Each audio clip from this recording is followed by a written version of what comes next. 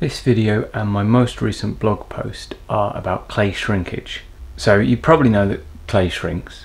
It's around 10 to 20%, generally more close to 10 unless you're working with porcelain. It's the percentage decrease in size from when it's fresh out of the bag to generally when it's fired and they might give you a range of temperatures because the amount it shrinks depends on what it's fired to. Um, the initial shrinkage as it dries is from water evaporating and then there's chemically bound water that's given off in the higher firings and then when it's taken to vitrification some of the silica melts and all of this means that the piece gets smaller. It's important to know the shrinkage percentage if you know if you have a defined size you want to throw to and you want to know how big you're going to throw your piece. But the way you use the shrinkage percentage to work out what size to throw your piece it's quite a simple calculation, but it isn't the one that I see most people using. The way that most people do it is ever so slightly wrong. Um, and I will explain why that is. I'm going to throw a couple of pieces and demonstrate what I how I use the shrinkage in my work. To start with, I've got this grid, something I designed and is produced by Hartley and Noble to go with their Russian doll bat system. So it's an insert that goes in and gives you a grid. These measurements are absolute measurements, So one centimeter on here is one centimeter. So I can set my laser guide, which is what I use as the mark. I can set this to the measurement I want to throw to, and it will give me a 3D point in space that I then, if I can get hit that with the top corner of the piece, the piece is the right size. So the piece is the size that I'm aiming for and should shrink down to the finished size I want. Now, the thing is, you have to know what size to set the laser to. So I'm going to throw a large drippy slippy mug, but all my large swirlies and impulse are all the same size, and the finished size is 10 centimeters tall by 9.5 centimeters in diameter. I have set this to 11.1 tall and 10.6 in diameter, approximately. Um, there's a little bit of wiggle room that can't be too precise with it, but broadly speaking, that's what I'm aiming for. How do I get to those numbers?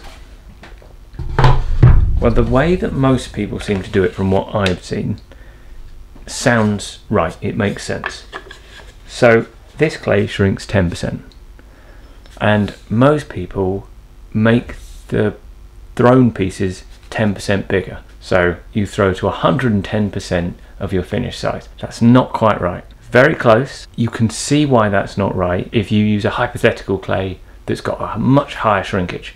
So if you had a clay that had a 50% shrinkage, then you would need to throw twice as big. It's going to halve in size when you throw, so you throw to double. So say you wanted it to be 10, 10 centimeters when it was fired, you would throw it to 20. But if you were going using that system of adding the, the shrinkage to it, you'd throw 50% bigger, 150%, 15 centimeters.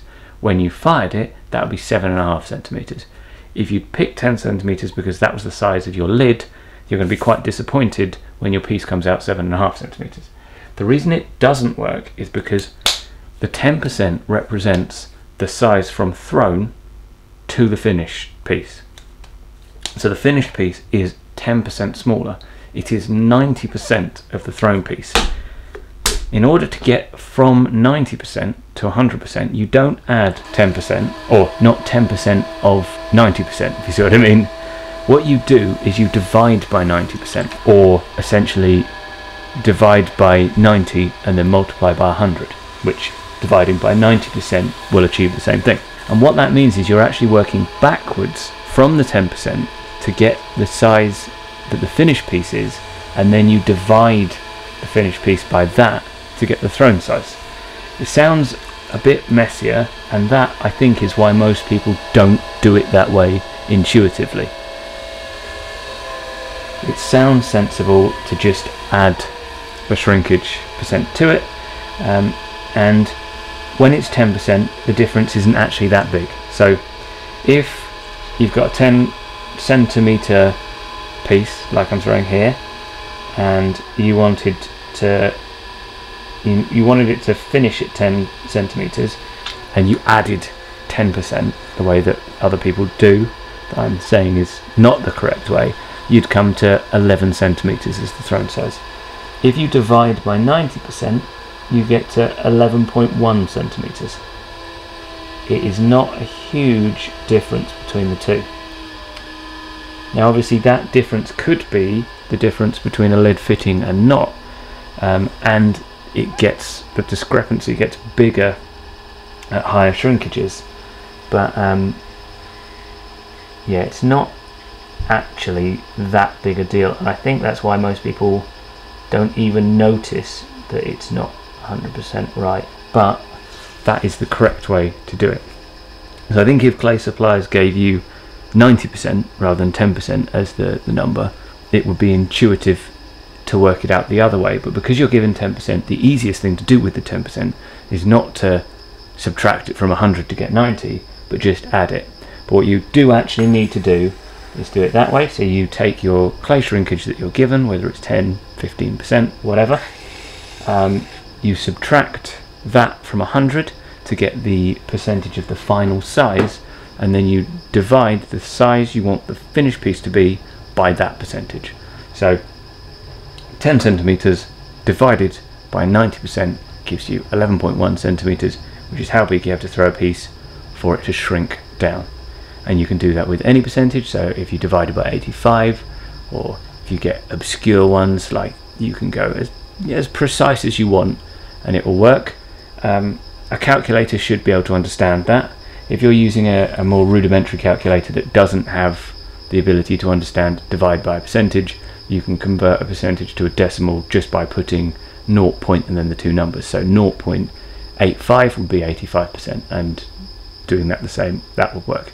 So you could do 10 divided by 0.85 would give you um, the scale up for a clay that was 15% shrinkage. Now, all of that's well and good. It's not a calculation that I ever actually do. And the reason for that is. Oh, it's so hard to do this and talk. I've got a spreadsheet with all of the final sizes, and I've got tabs for each of my clay that give you the thrown size in that clay. So a different shrinkage for each clay, um, and then all the all the pieces should match regardless of what size, what clay they're thrown in.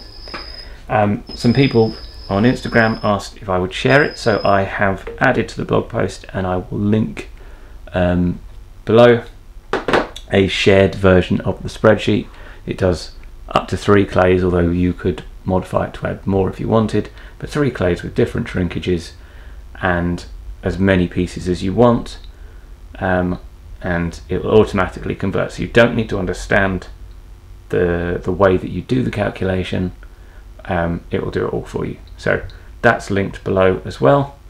Um, and yeah, that's pretty much it. It's not a huge deal, but if you're doing it wrong, this should hopefully help you do it right. Um, the camera's rolling. I might as well throw another, I won't talk at the same time.